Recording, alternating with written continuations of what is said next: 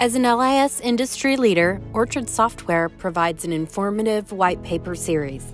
One of our most recent white papers discusses five ways to improve point of care testing return on investment, or ROI. It is widely recognized that point of care testing is beneficial to patient care because of its rapid turnaround time that promotes timely diagnosis and treatment. Yet, determining the ROI and overall value of point of care testing is a difficult task and is rarely defined. There are ways to make point of care testing more efficient.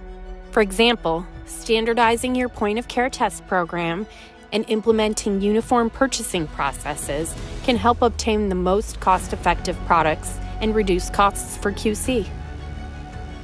To learn about other ways to ensure that your point of care testing program is cost effective, download our white paper.